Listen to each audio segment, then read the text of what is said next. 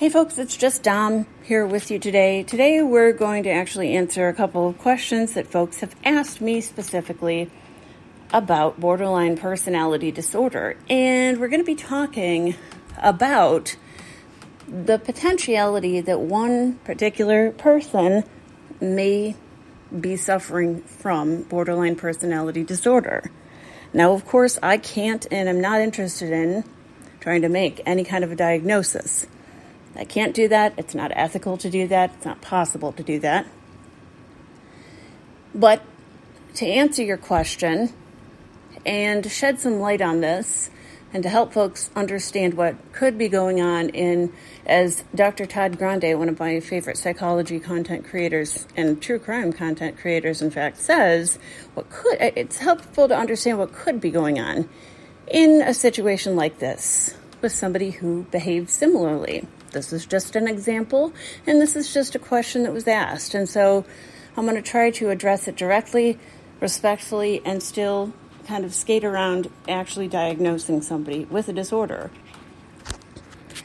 I'm not some sort of a celebrity doctor who is comfortable talking out of the side of my mouth about celebrities I've never met or content creators I've never spoken with, or even ones I have met for that matter and diagnosing them from afar. That's unethical, it's inappropriate. So I'm not going to do that, but this is going to skate along a very fine line. So please bear with me on it. If you don't feel comfortable, don't listen.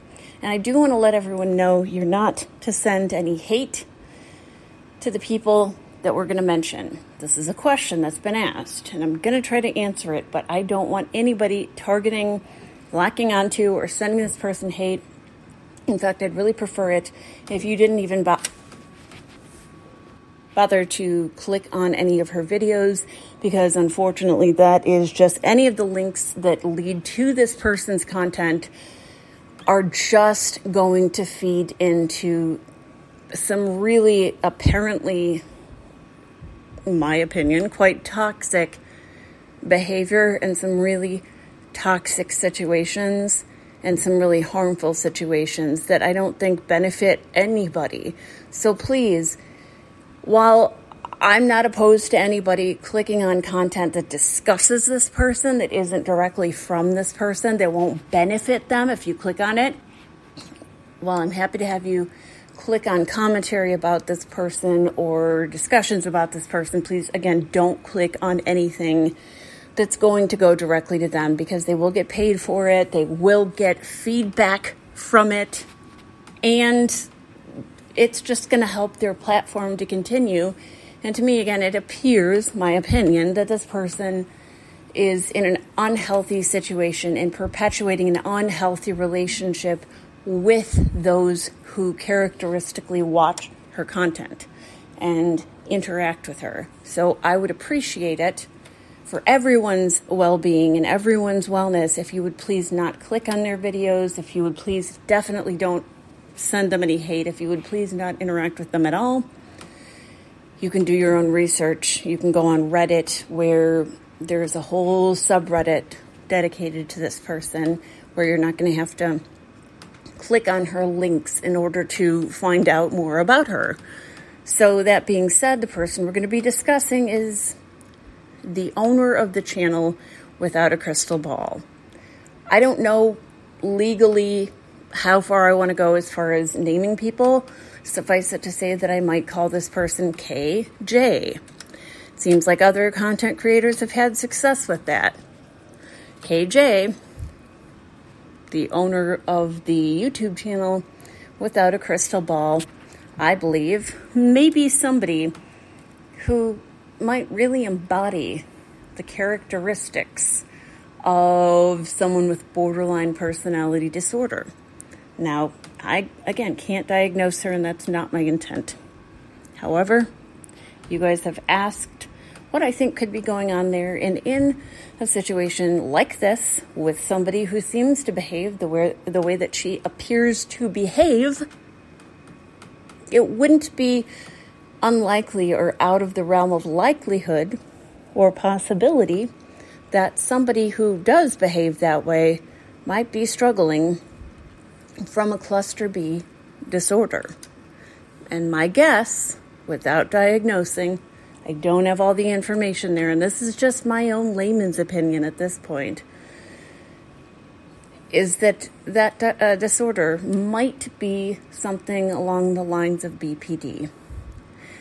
I would say narcissism in many similar cases, but I don't think that narcissism is what's going on there. And since you guys have been interested in hearing a bit more about my opinion on the matter, because if you recall, while I was doing research for the Myka Stauffer video and podcast episode that I did, I did mention Without a Crystal Ball as being one of the content creators I turned to for information. Well, I think there was some good information there, but I think that I was mistaken in giving this person more hits, more clicks, and more credit than perhaps was due her. And at this point, because of her own actions, I definitely don't feel comfortable being a part of this apparent train wreck. So, in the meanwhile, not only has this person been accused of stalking and harassing and has been involved in several lawsuits, one in particular involving the juggernaut mega initial YouTube creator when the platform first launched, Tati Westbrook. But this person has gotten into a lot of hot water with other content creators and other public personalities. And the drama just never seems to stop. Now, KJ, or Without a Crystal Ball, if we refer to her by the name of her YouTube channel, is somebody who's a commentary YouTuber. She has referred to herself as a journalist and a researcher. She has done writing for the website Patheos. And she appears to have referred to herself as a near alcoholic. I, am not sure what the terminology was off the top of my head, but somebody who might be in danger of abusing substances, which to me lends itself to the assumption that she likely, at that point, felt that she was using substances and perhaps was overutilizing substances and had developed an unhealthy relationship with substances, apparently via her own words, including alcohol. Now, this is important. It's a big characteristic of cluster B disordered individuals and it's definitely very present in borderline personality disorder. Borderline personality disorder is characterized by unstable relationships, by a really toxic behavior that shows itself as a symptom called splitting. Splitting essentially looks something like this the people in your life, if you're suffering from BPD, are never just people, shades of gray. They're either great or terrible. They're either the perfect girlfriend, the perfect boyfriend, or the absolute worst. They're the perfect mom, dad, or parent, or the absolute worst. There's never any gray area. The people around you are either the best or the worst at any given time, Annie apparently agrees because she's meowing. Very strong agreement there. Yes, Annie cat. And there's no sort of distinguishing between what these people who are suffering from this disorder are thinking and feeling inside themselves and what other people are doing and how other people are behaving and what other people might be going through. Because it's never about those other people. It's never about the girlfriend, the wife, the husband, the parent, the child. It's never about them. Whether or not they're being split whether or not they are being treated as the golden child or the black sheep on any given day, whether or not they're being treated like the best mom ever, the worst dad ever on any given day, is totally up to the person with BPD. It has nothing to do with the behavior of those around them, and it has everything to do with the behavior of the person suffering from the personality disorder. Now, these people have a very unstable locus of control. They tend toward seeing life, if you will, as a series of events that happens to them and not something that they contribute to via their own behavior, via their own actions, their own thoughts. They seem to have almost a victim complex, as if everything happening to them is happening to them because they're a martyr or a victim. Well, that's a very difficult situation to deal with. Speaking from experience, I've known people close to me who have had BPD. And yes, BPD is the one and only cluster B personality disorder that's treatable and can be cured. So it's not all doom and gloom if BPD is happening. And that's one reason I felt a little bit less uncomfortable answering this question from a listener because it's not a diagnosis like narcissism or psychopathy, you know, antisocial personality disorder, for instance, that is all doom and gloom and all kind of, well, either you have it or you don't, you don't get over it. No, this is a very different proposition. And that's a good thing. That's a good thing for our purposes, especially in discussing this particular person. So th- these people struggle with feelings of isolation, boredom. They use substances to cope. Many times they are actual addicts, and we realize, of course, that addiction is a physical illness, not just a, a, a mental illness, right? Addiction is a physical illness, and it has many genetic components that are very important to discuss and to keep in mind when talking about that topic. Now, BPD does lend itself to addiction.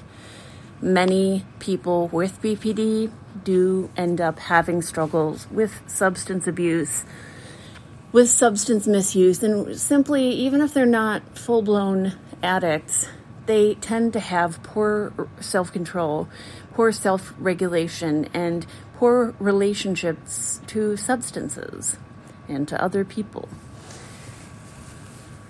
They, of course, because of all of this, do struggle to feel empathy for others, although they are capable of it, unlike other cluster B disordered individuals. So, having that unstable, mutable sense of self gives you a really distorted sense of reality and of who you are as a person if you're suffering from this.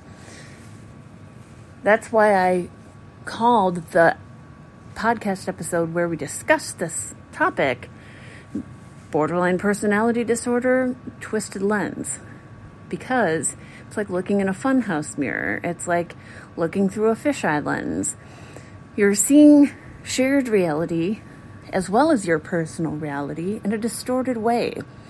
And that, of course, influence and affects your relationships and your interactions with everyone around you.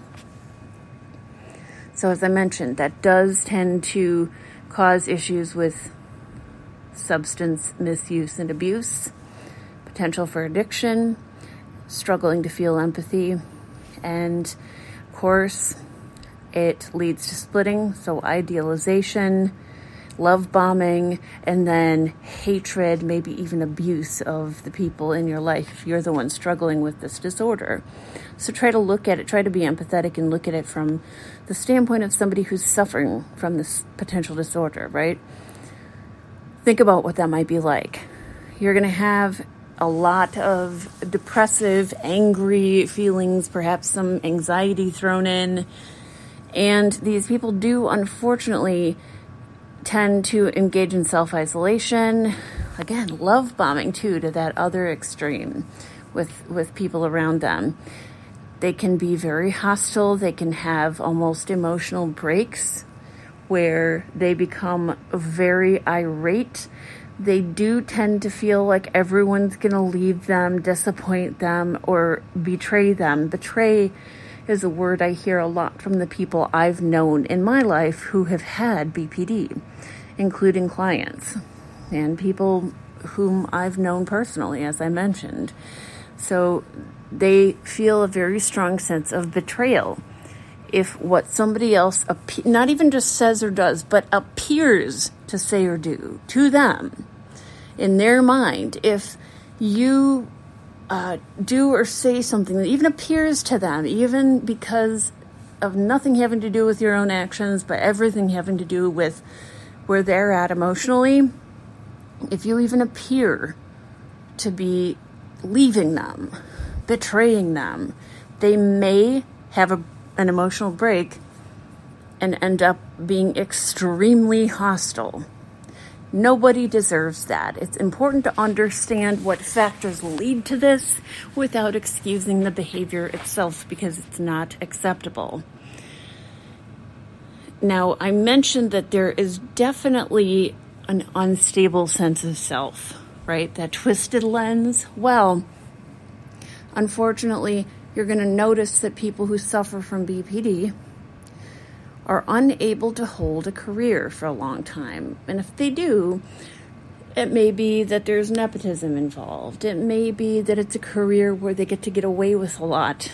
Maybe the boss isn't cracking down on them. Maybe they are the boss.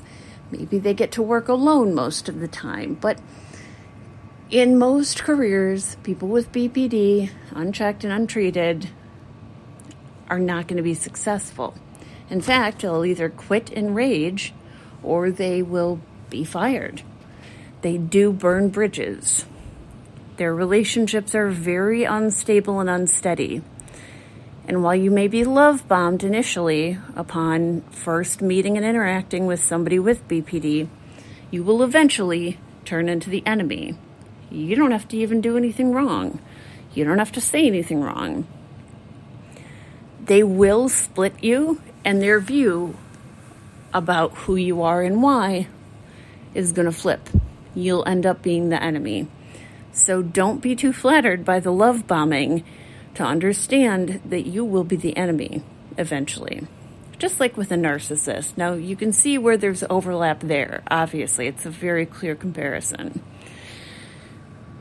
One of the differences, one of the things that really sets borderline personality disordered folks apart from other cluster B disorders is that not only do they engage in risky drug and substance use and sexual behavior and risky friendship behavior and even work behavior and family behavior and just interactions with people, but they are very self destructive and not just in that sort of self sabotagey way that narcissists are self self destructive, but they will actually often cut themselves, harm themselves, attempt suicide, look like they're attempting suicide. Now, oftentimes it's not just a show, like they're actually attempting it, right?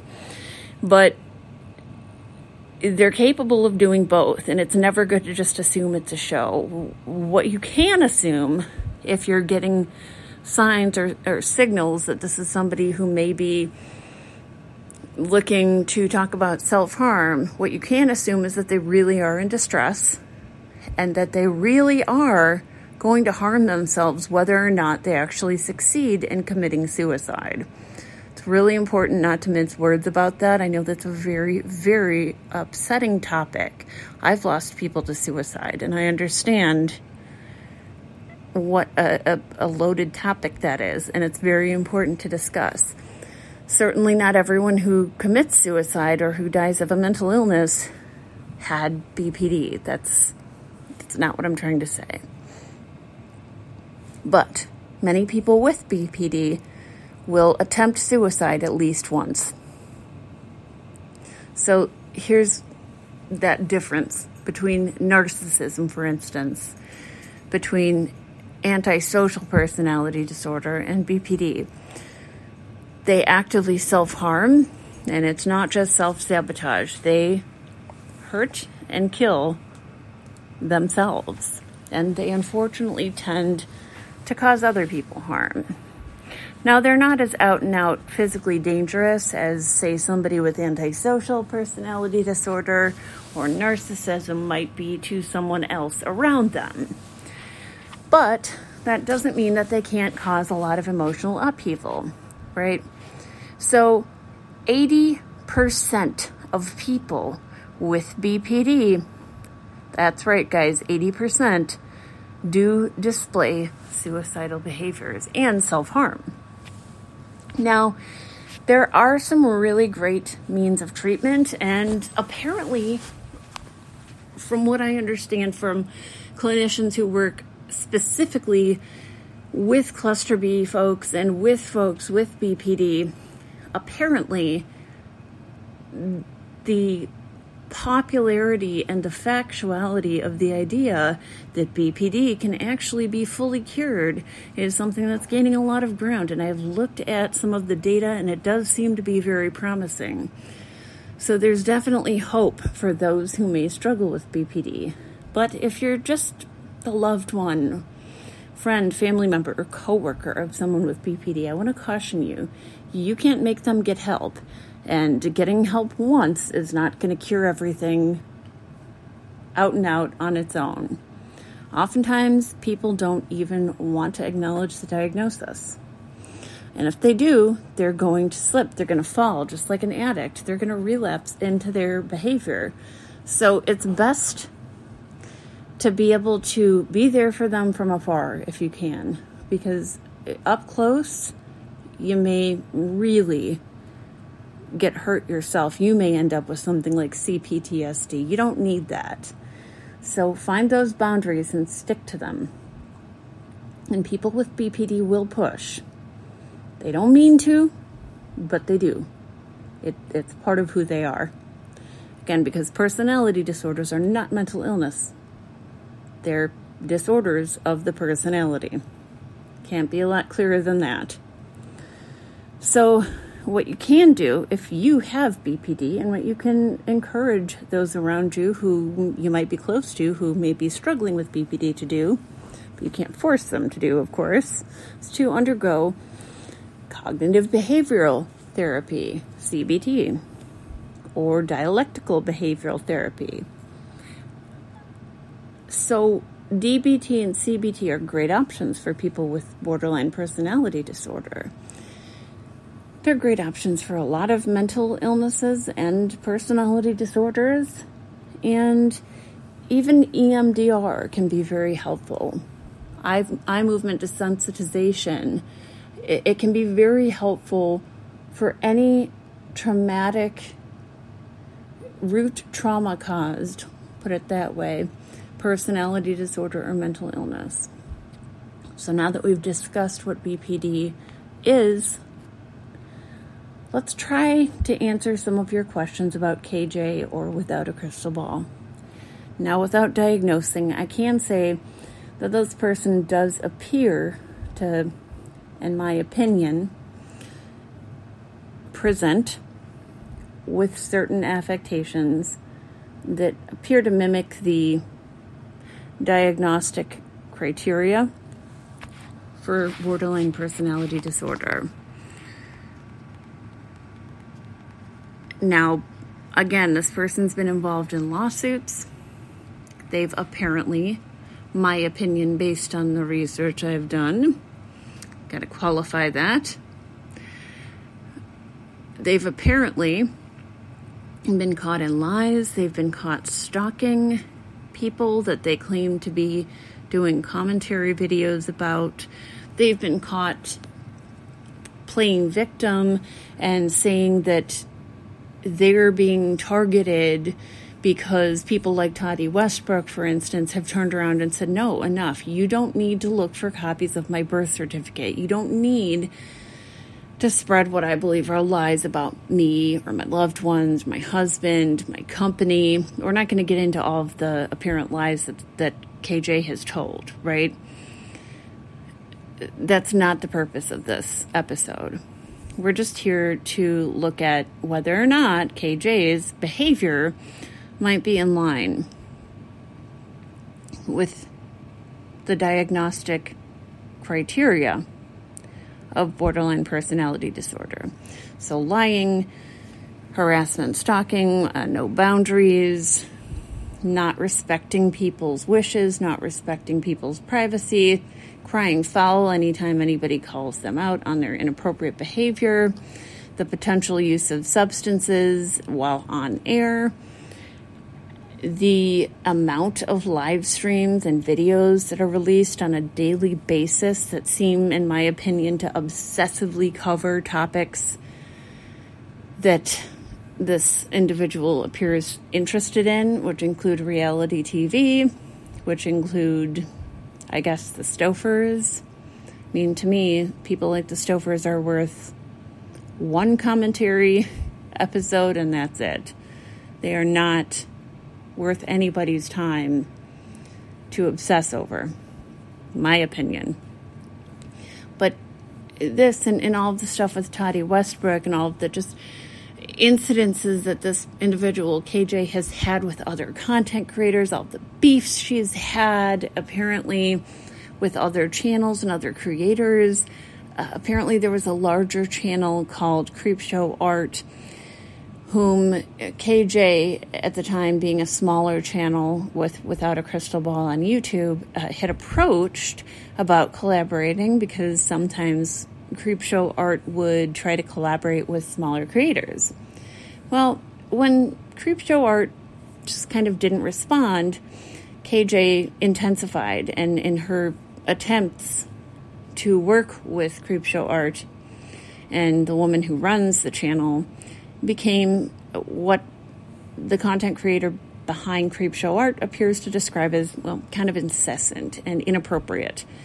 And then they go from it's almost like the character of Stan in the Eminem music video for the song Stan. It's like they go from Dear Marshall, you know, to you horrible person, I'm going to come over there and, you know, and without any input from Creepshow Art, right?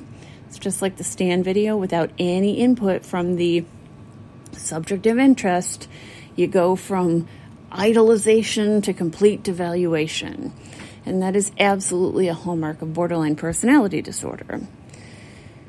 The situation with Tati Westbrook appears very indicative of the potential for KJ's behavior lining up very equally with the diagnostic criteria for borderline personality disorder. One of the heinous things that KJ has done, and this is just one of many in my opinion, uh, based on the research I've done, is that she insinuated that Ms. Westbrook's husband, shortly after losing his mom, by the way, which is bad enough, that she insinuated that he killed his mom after making her sign over money and sign over uh, a mortgage or something to him, and that ended up not being true at all. And to, to go ahead and say something like that about someone publicly is obviously inappropriate. And a normal person, if they said something that was inappropriate or that somebody felt hurt or targeted by, would apologize, whether or not they felt that they were wrong, right? They would actually go, you know what, I can see why you were upset about that. That, yeah, I apologize for that. I, I shouldn't have said that and they would learn from that and then not do that again. So, these sorts of behaviors, having beefs with different content creators, having beefs with people who haven't ever even answered her messages, having these imagined periods of, of apparent victimhood, and then crying foul and, and acting like the victim, and then even going so far as to apparently go on live streams and talk about harming herself and potentially committing suicide. That do, that behavior appears to be in line with the diagnostic criteria for borderline personality disorder. And I can certainly compare and contrast what I'm personally noticing with behavior with regard to the parameters set up for diagnosis of borderline personality disorder without actually diagnosing her. And that's the line that I'm walking to hopefully answer your questions about this. I've been hesitant about putting this video out or this podcast episode out for a while because I haven't wanted to add to any stress or negativity. But I also think it's important to discuss other people's potential perspectives and to understand those perspectives. Oftentimes, listeners will confuse understanding and empathizing with someone's likely perspective with excusing them from all blame. I need you to understand that that's not what I'm attempting to do. I'm not trying to excuse KJ without a crystal ball of their behavior because their behavior is, in my opinion, is absolutely abhorrent and borders on stalking. It is abusive and manipulative and speaks to the likelihood that she is not well. And that's why I don't want people clicking on those links. I don't want people hating on her or sending her negative comments or negative stuff or hate. I, I want people to just go, oh, now I understand why all of these commentary channels have been talking about her. Now I understand why maybe I shouldn't play into this situation, and now I understand where she might be coming from, or where somebody who I perhaps know who's acting like she acts might be coming from. So I guess I want to help teach people a lesson in empathy. That's my goal for this episode. And I hope I've done that. Let's run through the diagnostic criteria one more time on medscape.com and see if any of the things you know to be true about KJ without a crystal ball and some of the things that I've discussed with you today feel like they match up with any of these diagnostic criteria. I'll leave that up to you. What do you personally think? Please don't attempt to diagnose anybody, but it might behoove you to do some thinking and to learn about this. And it's, if nothing else, a good exercise in empathy and critical thought and the consideration of why not all content creators need to be clicked on. I, I, don't click on people like Trisha Paytas. I don't click on people like Shane Dawson anymore. I don't click on people like Without a Crystal Ball because I believe that these are people, uh, Eugenia Cooney comes to mind. I believe that these are people who are experiencing potential mental health breakdowns or personality breakdowns, and I don't think that it's healthy to play into that or to give that person any kind of feedback they can use, whether it end up being narcissistic supply, whether it be, end up being ED supply, whether it end up being something like borderline supply. I don't want to play into that. And I'm not going to discuss the situation endlessly like some people are doing. Nothing against them. If that's what they do, you're a commentary, commentary channel, you do you. I don't think it warrants discussing more than once. So this is my stab at that. So again, we're going to go through these couple of diagnostic criteria before I let you guys go and let me know what you think in the comments section. Uh, again, avoiding diagnosis, being respectful, kind, and thoughtful, and not sending hate to anybody mentioned here or anyone else for that matter. So, some of the signs and symptoms via medscape.com are disturbances in experiencing oneself as unique. So, that what does that mean in layman's terms? That means that the boundaries of who you are and who everyone else is are bleeding together. Poor boundaries, like I said, between self and others. Poor emotional regulation. An inability to soothe self adequately, resulting in excess emotional reactions to stresses and frustrations, maladaptive attempts at self soothing, suicide threats, self harm, and angry behavior. An unstable sense of self with poor ability for self direction and impaired ability to pursue meaningful short term goals with satisfaction marked instability in functioning, affect, mood, interpersonal relationships, and at times, even reality testing, disturbances in empathy, disturbances in intimacy, a pattern of impulsivity, risk taking, and poor self image. So I'm going to ask you guys again what do you think? Do you think that any of these signs and symptoms might be reflected in this person's behavior? Again, while kindly and thoughtfully withholding from any actual judgment or diagnoses. Frantic efforts, again, to avoid real or imagined abandonment. This does not include suicidal or self mutilating behavior covered in Criterion 5. A pattern of unstable and intense interpersonal relationships characterized by alternating extremes of idealization and devaluation. Again, as I mentioned, that that is called splitting. That is the hallmark that sets BPD apart from narcissism.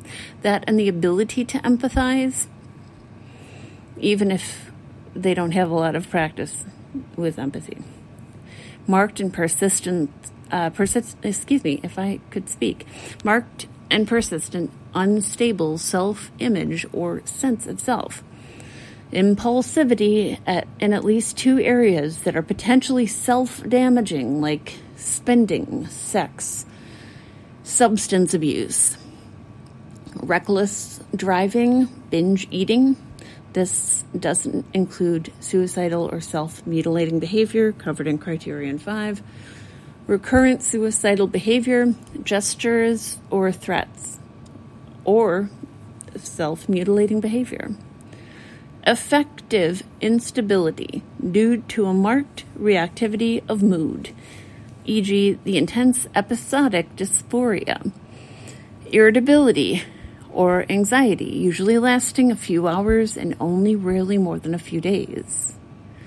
Chronic feelings of emptiness inappropriate, intense anger, or difficulty controlling anger, e.g., frequent outbursts and displays of temper, constant anger, recurring physical fights, recurring emotional fights, transient stress related paranoid ideation, or severe dissociative symptoms. So, these are the diagnostic criteria, and I hope that understanding them and being able to thoughtfully and critically think about their application, not just potentially in KJ's case, but in life in general, I hope that that might help you to find some empathy for people who struggle with these issues. And again, empathy doesn't mean excusing their behavior. Empathy doesn't mean, oh, it's okay because it's been explained. What it means is, okay, now I understand why it's happening and I'm not going to put up with it anymore. And now I know exactly how to hone my skills so I don't have to put up with it and how to set my boundaries so that they work, right? So that is the reason we discuss things like that. And that's the reason that I'm answering this question despite it being kind of awkward and kind of difficult to answer. And despite it maybe having been an easier course of action for me to just ignore the subject completely and not address it and not put myself out there. Well, you guys know that's not me. So I decided I'm going to give it my best shot. This was it. I hope I've answered your question. And I genuinely wish KJ the very best. I do hope that she does take her channel off of YouTube. I think she would do well to get off of social media entirely, at least until she gets whatever help she needs for whatever she's going through. And I hope that she doesn't cause anyone else harm while she continues to apparently live out and relive and re relive and react to and, and get caught up in that cycle of just constantly reliving her own trauma and, and reacting to her own trauma because it appears that that may be where she's at. You know, the old saying, hurt people, hurt people. Well, she seems to be a hurt person, and it appears that she is hurting other people. So I do hope that she will end her relationship with YouTube apologize for the things that she has done that have hurt others. Because, folks, let's be honest, intent doesn't matter if it was received in a negative way. Intent doesn't matter if it was received in a way that felt harmful. Now, that is, of course, taking into the uh, into account the fact that we're kind of giving everybody an honors system approach, that we're not weaponizing our victimhood, and that we're not saying that we feel victimized, attacked, violated when we don't, right? So let's hold space for the fact that now and again there are going to be people who are bad faith actors and maybe who don't actually feel victimized, but who want you to think they do. And that's something that does go hand in hand with folks who struggle with untreated BPD. Okay? But for those who are being honest and we're giving everyone the benefit of the doubt here, that everyone's acting in good faith. For those who are acting in good faith, if you genuinely were hurt by something that someone said or did, it doesn't matter what they meant by it, it just matters how it was received. And if you find yourself often offended or hurt, I would like for you to look at that. I would like for you to look at that and say, Am I playing into this? Was this something that was genuinely meant to be hurtful? Because to always be in the position of being the victim or to feel like a martyr, something's not right. But to genuinely now again be now and again be hurt by something somebody says or does, well, that's normal. And it's really incumbent upon in a situation like that, the person doing or saying the thing that was hurtful to you to be the grown up and to apologize and to own up to their actions and, and to try to understand your perspective. And of course, conversely, it's important for you to try to understand their perspective, which brings us back around to why we're here right now. So I hope that this episode has helped you to do that. And if you have any other questions, feel free to ask. Thanks so much for listening.